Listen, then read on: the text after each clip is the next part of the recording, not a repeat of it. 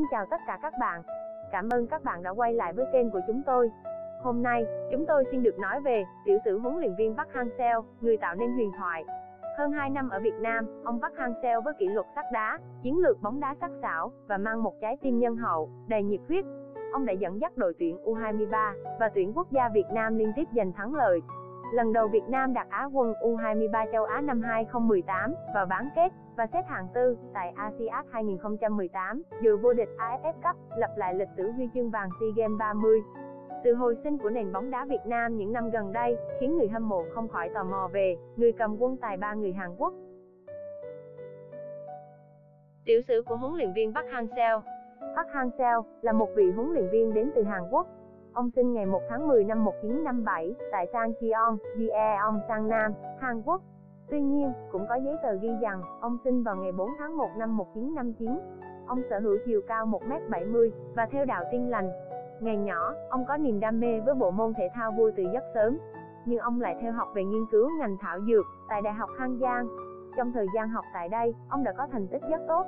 Thế nhưng, khi ra trường, ông lại chọn cho mình một nghề khác hoàn toàn, đó chính là con đường bóng đá.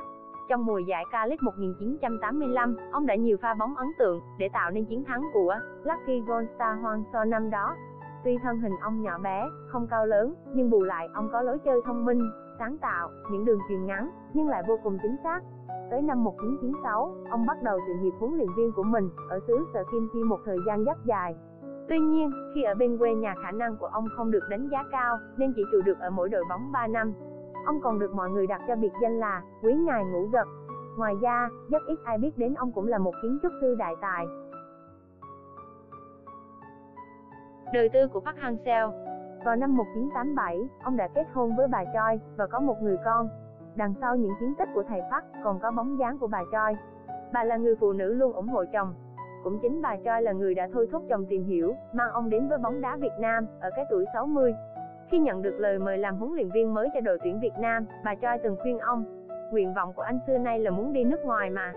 Bây giờ có tuổi rồi, anh cứ coi đây là thử thách cuối cùng. Anh cứ đi đi. Vợ tôi đã thuyết phục tôi như vậy đấy. Bà ấy thậm chí còn sợ tôi thay đổi ý kiến, nên sáng hôm sau đánh thức tôi dậy và tự mình lái xe chở tôi đi. Chưa hết, bà ấy còn ngồi bên cạnh để canh vì sợ tôi thay đổi ý kiến đột xuất. Ngoài ra, khi chồng đầu quân cho đội tuyển Việt Nam, bà cha Sang A cũng dời Hàn Quốc để chăm sóc ông, chấp nhận khó khăn cho sự nghiệp của ông Park. Mặc dù chồng dành gần hết thời gian cho bóng đá, nhưng bà cha chưa bao giờ cảm thấy cô đơn hay nhạt nhẽo. Ngược lại bà còn là người động viên chồng trước những giải đấu lớn. Đáp lại tình cảm của vợ, ông Park cũng dành những lời cảm ơn chân thành trước công chúng. Thầy Park từng bật khóc nói rằng, tôi rất nhớ gia đình, nhớ mẹ tôi, năm nay bà đã 97 tuổi, nhớ vợ, và cả cậu con trai mình, tôi muốn chia sẻ những thành công của mình với họ. Sự nghiệp làm huấn luyện viên của thầy Park Hang-seo Những cột mốc quan trọng trong sự nghiệp làm huấn luyện viên của thầy Park Hang-seo 1989 đến 1996, làm trợ lý huấn luyện viên cho FC Seoul. 1994, tham gia vào thành phần ban huấn luyện của đội tuyển bóng đá quốc gia Hàn Quốc cùng tham giải bóng đá vô địch thế giới năm 1994. 1997 đến 1999, làm trợ lý huấn luyện viên tại Suwon Samsung Blue Wings. 2000 đến 2002, làm trợ lý huấn luyện viên tại đội tuyển bóng đá quốc gia Hàn Quốc tham gia giải bóng đá vô địch thế giới 2002 với tư cách đồng chủ nhà. 2002, trở thành huấn luyện viên trưởng đội tuyển Olympic Hàn Quốc, đội tuyển chủ nhà của môn bóng đá nam tại Đại hội thể thao châu Á 2002. 2003 đến 2004, làm trợ lý huấn luyện viên tại Pohang Steelers. 2005 đến 2007, huấn luyện viên trưởng cho Jeonam Nam FC. 2008 đến 2010, huấn luyện viên trưởng cho Jeonnam Dragons. 2012 đến 2015, huấn luyện viên trưởng cho Sangju Sangmu. 2017, huấn luyện viên trưởng cho Changwon FC.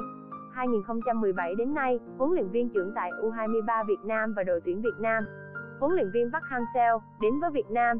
Quá trình để có thể chiêu mộ được huấn luyện viên Park Hang-seo tuy khó khăn nhưng cũng cực kỳ may mắn. Sau khi huấn luyện viên Nguyễn Hữu Thắng từ chức, Liên đoàn bóng đá Việt Nam báo cáo lên Tổng cục Thể dục Thể thao về tìm người dẫn dắt đội tuyển nước ta. Sau quá trình tìm kiếm có hơn 15 ứng viên với lý lịch và tay nghề tốt, nhưng rồi những cuộc thương lượng và đàm phán đều không đi đến đâu. Nguyên nhân do các vấn đề về chế độ đãi ngộ và lương thưởng. cái tên thứ nhất được liên đoàn chú ý khi ấy là huấn luyện viên Sekizu Takashi, Nhật Bản, và phương án B khi ấy lại là một huấn luyện viên đến từ châu Âu. Cái tên Park Hang-seo không được nhiều người khi ấy quan tâm. Hình như ông có một sợi dây tơ duyên kết nối với đội tuyển Việt Nam. Vào 11 tháng 10 năm 2017, ông đã chính thức trở thành vị huấn luyện viên của đội tuyển bóng đá Việt Nam và U23 Việt Nam. Được biết, Việt Nam là đội bóng đầu tiên và cũng là duy nhất mà ông nhận huấn luyện ở ngoài.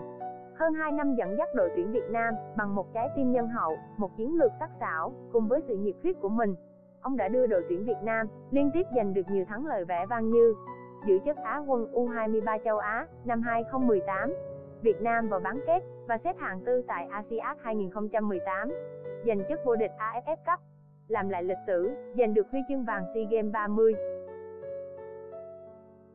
Chúng tôi hy vọng những chia sẻ trên sẽ mang lại cho các bạn những kiến thức bổ ích và lý thú. Nếu các bạn có bất kỳ một mối quan tâm, một ý kiến đóng góp, hay thậm chí một lời phàn nàn nào đó, các bạn vui lòng comment phía dưới video này, chúng tôi luôn luôn lắng nghe, sẵn sàng đón nhận và cảm ơn chân thành đến các bạn.